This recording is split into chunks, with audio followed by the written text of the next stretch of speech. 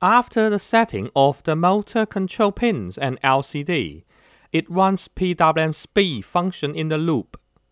This function contains a for structure whose variable i increases from 60 to 255 with the interval of 10. When i variable is getting bigger, analog write will generate PWM signals whose average voltage increases with i variable. The increasing PWM signal drives the two motors faster and faster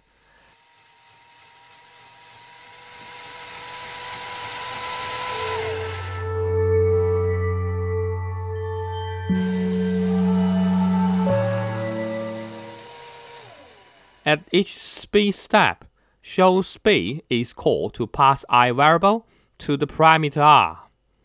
R variable is remapped onto two separate variable f and d, of which f variable generates PWM signal to the LED.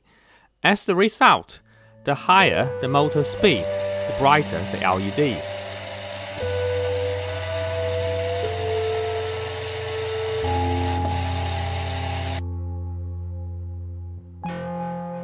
Another variable D will control the speed of the flywheel on the LCD.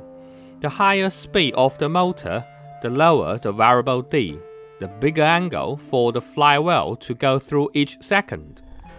We can observe the rotation of the flywheel on the LCD follows the speed of the DC motor. When it meets the maximum speed, the motors start from low velocity again